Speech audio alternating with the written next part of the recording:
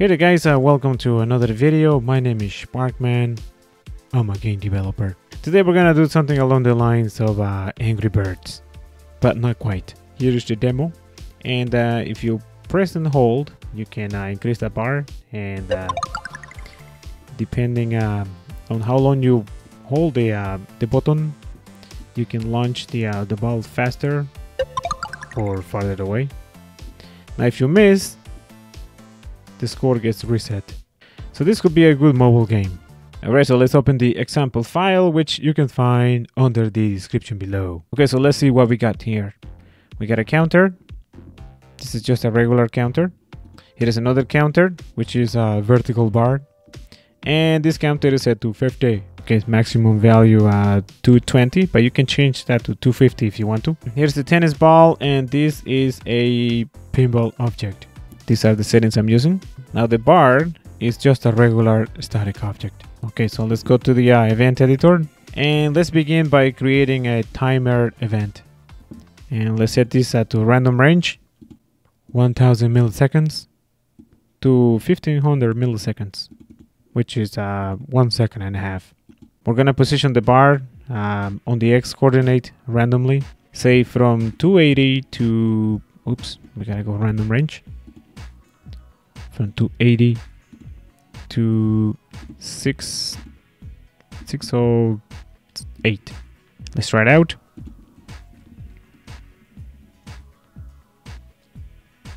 That works fine. Condition number two. Repeat while mouse is being pressed. The left button which is equal tapping on the screen. If this was a mobile game.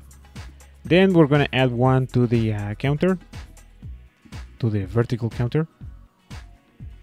Let's try it out. Mm, that works fine. Line number three, if the counter is greater than 50 and the user is no longer pressing on the uh, mouse key, the left button, we're gonna loop this uh, only once when this event loops. If this happens, we're going to create a new uh, tennis ball over here. We're gonna set the speed of the tennis ball equals the counter. And we're gonna reset it back to 50. Okay, let's try it out. Whoa.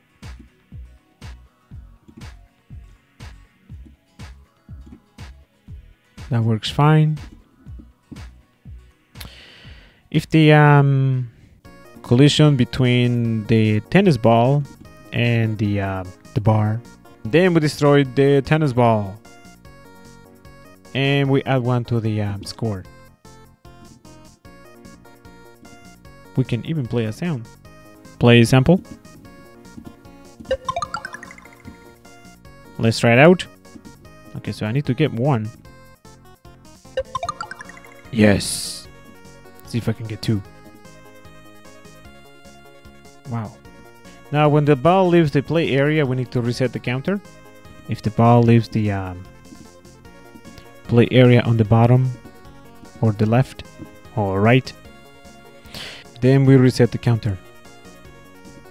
Set the counter back to zero. And we can probably destroy the ball. Let's play another sample.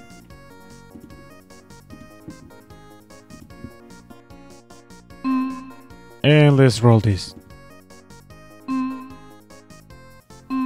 That was close. Yes, I got one.